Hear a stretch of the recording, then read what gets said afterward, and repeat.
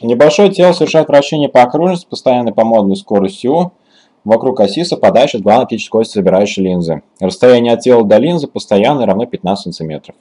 Фокусное расстояние линзы 10 см. С какой скоростью движется изображение этого тела? Ну что ж, тут можно сказать. Берем, рисуем, делаем чертежик. Вот у нас э, некоторая оптическая ось. Сейчас нарисуем линзу. Вот линза у нас будет.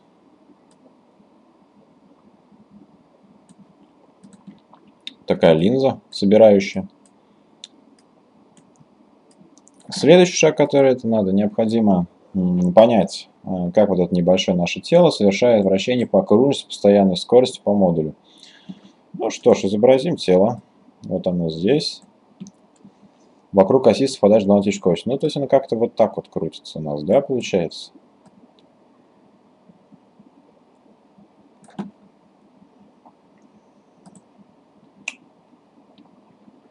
Расстояние от тела до линзы постоянное и равно 15 сантиметров. Вот это хорошо. То есть у нас, э, я вот изобразил, но, но в целом, наверное, не очень понятно. Но, в общем, смотрите, что у нас происходит. В общем, у нас вот как-то так она, вот как-то так, там крутится, крутится. Но я просто оставлю так пока. В общем, отмечу точку и нарисую некоторую стрелочку. Она будет э, нам характеризовать некоторое изображение предмета, да, которое мы привыкли видеть, потому что всегда надо стараться задачу довести до того момента, когда нам уже будет понятно, что делать дальше. Поэтому какая-то точка, которая вращается, еще непонятно. А если мы какую-нибудь стрелочку нарисуем, а потом нарисуем здесь, то, я думаю, мы придем к известной всей задаче о собирающей линзе, которая нам всем ясна. Для того, чтобы построить изображение в этой точке, надо пустить два луча. Один будет проходить через центр и не будет испытывать никакого преломления, второй будет проходить через линзу и будет через фокусное расстояние проходить. Ну, в общем, два луча построили. Вот у нас вот. Опять-таки изображение. Изображение также будет перемещаться, поскольку у нас какие-то кривые кружки получаются. Господи, не быть мне художником. Ой. Вот. О, как ты, господи, вот. Ну ладно. Что-то не то. Ну, в общем, ладно. Получается вот в общем изображение. Также стрелочку нарисуем. Эти стрелочки носят, э, кроме всего, некоторые практические смыслы для нас. Они характеризуют радиус окружности, в которой у нас происходит вращение. Здесь у нас будет R2. Здесь мы обозначим, вот здесь вот это у нас будет R1. Надо потом еще что-то выбрать. Вот. такая задача. Кроме всего прочего, нас задано расстояние от тела до линзы постоянно равно 15 сантиметров. Так и напишем. 15 сантиметров. Это у нас будет А. А вот еще у нас есть Б. А, Б у нас... Э, нет, Б у нас не задано. Но я просто его отметил. У нас также еще есть фокусное расстояние 10 сантиметров. Вот это у нас будет фокусное расстояние. Фокусное, оно будет равняться 10 сантиметров. Вот и все. Вот такая ситуация. И решать задачу это я предлагаю вам. И у нас скорость вращения этого тела будет О. 0,1 метр в секунду. А требуется найти э, скорость движения изображения, то есть V надо найти. Ну и что ж, приступим к, э, задаче и, на, и на, сначала воспользуюсь тем фактом, что период обращения по этой окружности и по вот этой вот окружности двух тел будет одинаковый. Для чего можно задачу ну, вот так вот нарисовать, э, оранжевая будет у нас так вот, синенькая как-нибудь вот так вот, вот так вот, вот так вот. Это я вот так буду видеть их вращение по окружности. Там вот эта ось там по центру везде, это оптическая, да? В общем, в первом случае период обращения t первого тела будет равняться периоду обращения второго тела. Все это будет равняться 2πr1 на u. Это будет равняться 2πr2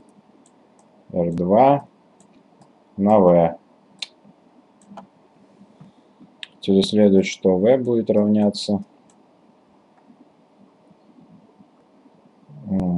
у R2 на R1. Вот. А, ну, то есть 2π, э, 2π сокращается, период обращения одинаковый. V у нас, соответственно, вот так будет выражаться. Через R2 и R1. Теперь наша основная задача найти эти R2 и R1. А, как их можно искать? Они же изначально не заданы, но вот я думаю. У нас здесь есть два треугольника. Даже красную постараюсь выделить. Красные. Вот. Или, может, более жирно. Вот этот треугольник. Ну, меня понимаете, я думаю. Вот. И вот это. Они подобны. А по причине того, что их углы везде, вот этот угол у нас 90 градусов, это тоже 90. Этот угол у нас равный, да? Кроме всего прочего, поскольку это у нас одна прямая, да, то можно писать еще, кроме всего прочего, расстояние. Как относится расстояние? То есть R2 э, будет относиться к R1. R2 будет относиться к R1 так же, как вот это будет относиться э, к этому, и так же, как а, вот это расстояние, вот B относится к A. Что мы здесь и пишем. Вот. Ну и хватит пока. Теперь надо понять, э, как написать соотношение для BA. Но у нас есть фокусное расстояние, связь э, от, э, с фокусным расстоянием с непосредственно расстоянием изображения и самого вот предмета, изображение, которое мы строим. Ну вот мы пишем здесь единица на f. Вот. Единица на f. Теперь наша основная задача, цель нашей жизни на данный момент – это выразить вот это, это а, отношение А и Б, Б, БК. Ну, мы это так и делаем. Кроме всего прочего, у нас из этого всего известно расстояние А и фокусное расстояние. Значит, надо найти B. То есть здесь, чтобы найти это соотношение, нам надо всего лишь выразить просто B через э, фокусное расстояние и А. Ну, что мы проделаем? Единица на B будет равняться единице на фокусное расстояние минус единица на А Вот. b будет у нас равняться единица, деленная на a минус f, f на a. Правильно я написал? Правильно. Поэтому берем, записываем здесь вот, что все у нас будет равняться f на a минус f.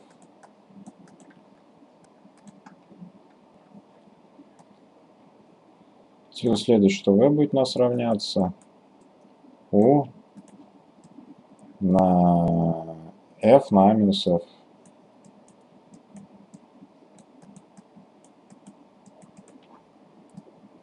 u 0,1 метр в секунду.